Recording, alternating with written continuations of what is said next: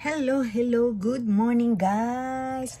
Look what I got this morning from Laika, Katrina, and RJ. And June, thank you for the beautiful flowers for my happy Mother's Day. Thank you, thank you guys.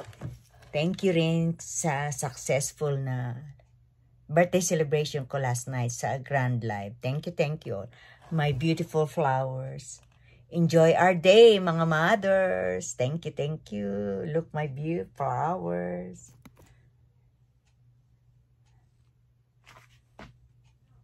Bye.